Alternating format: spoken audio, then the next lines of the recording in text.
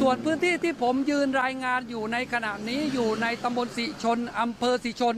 จะเห็นได้ว่าด้านหลังถนนถูกน้ำท่วมสูงนะครับ รถเล็กไม่สามารถสัญจรได้ สามารถสัญจรได้ สวัสดีครับ สวัสดีค่ะ คุณผู้ชมคะพบกับเราทั้งสองคนเช่นเคยค่ะ ดิฉันสายหยุดบัวคำไหล และคุณสรวิทย์งามคำดีค่ะ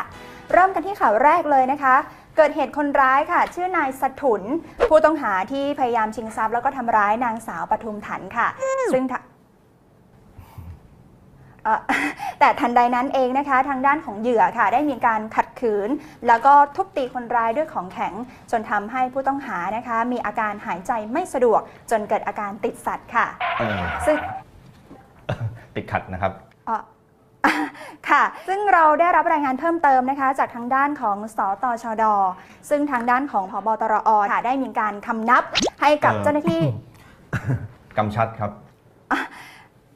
ค่ะ ทางพบตรอค่ะ ได้มีการกำชับให้เจ้าหน้าที่ทุกนายที่เกี่ยวข้อง ให้รีบปิดคดีนี้โดยเร็วที่สุดค่ะ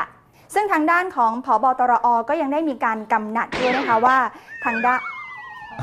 กำหนดครับเอ่อกำหนดค่ะอ๋อครับ กำหนดให้กับเจ้าหน้าที่นะคะ ให้รีบไปดูแลคดีนี้ให้เรียบร้อยนั่นเองนะคะ นอกจากนั้นค่ะขณะที่ได้มีการแถลงข่าวอยู่นั้นค่ะ ทางด้านของนายสถุนที่เป็นเอ่อผู้ต้องหาก็ได้มีการตอบกลับสวนทวารทางเจ้าหน้าที่ตำรวจด้วยค่ะ ว่าตนไม่ได้มีการทำผิด และที่สำคัญตนนั้นถูกใส่ร้าย แต่ก็ไม่ได้มีเหตุการณ์รุนแรงเกิดขึ้นแต่อย่างใดค่ะเอาไปดูนะครับคลิปต่อมาไปดูความน่ารักดีกว่านะครับความน่ารักของ น้องแมว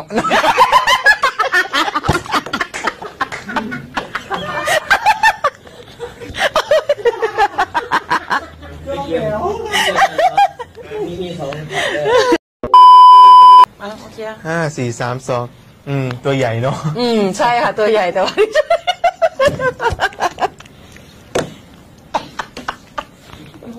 เพิ่งอ่านข่าวเขาจะ